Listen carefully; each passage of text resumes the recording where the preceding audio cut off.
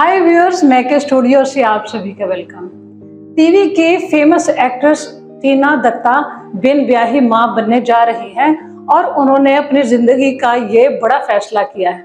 टीना ने बताया है कि उनके पेरेंट्स चाहते थे कि वो शादी करें, लेकिन मैं शादी करवाना नहीं चाहती थी, इसलिए मैं सरोगेसी के ज़रिए माँ बनना चाहती हूँ। टीना ने एक इंटरव्यू में कहा कि मेरे पेरेंट्स ने मुझे इजाज़त दे दी है।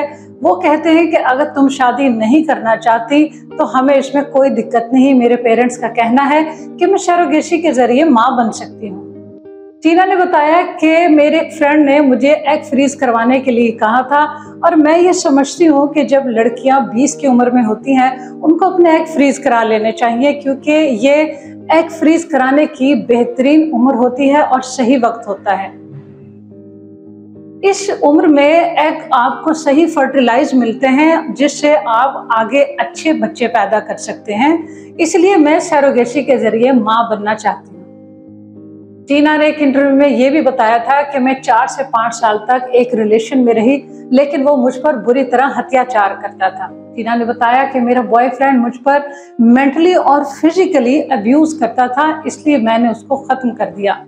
उसके बाद टीना बिग बॉस में नज़र जिस, जहाँ उनका प्यार शनाली बनोट के साथ नज़र आया, लेकिन बिग बॉस से बाहर आने के बाद ये प्यार भी खत्म हो गया। फ़िलहाल टीना काफ़ी समय से सिंगल ही रह रही हैं, लेकिन अभी उन्होंने सरगशी के ज़रिए माँ बनने का फैसला किया है। दोस्तों, आपको टीना के इस फैसले पर क्या कहना है? हमें अपनी राय ज़रूर दीजिएगा। ऐसे ही अपडेट्स के लिए देखते रहिएगा मेक स्टूडियो।